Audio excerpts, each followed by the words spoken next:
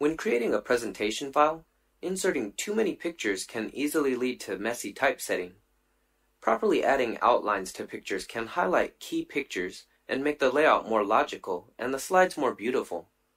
Select the picture, click the Picture Tools tab, and then click the Picture Outline drop-down button. Here we can set the colors, weight, and dashes of the picture outline with just one click. If we want to set the picture outline further, we can click the More Outline button. Then the Object Formatting task pane will pop up on the right side of the screen. Here we can set the solid line and the gradient line. Click Solid Line. Then we can select the style of lines. Here, WPS Office provides us with a variety of preset lines. We can also click Compound Type and Dash Type to set them up. In addition, we can also adjust the color, transparency, and weight of the outline.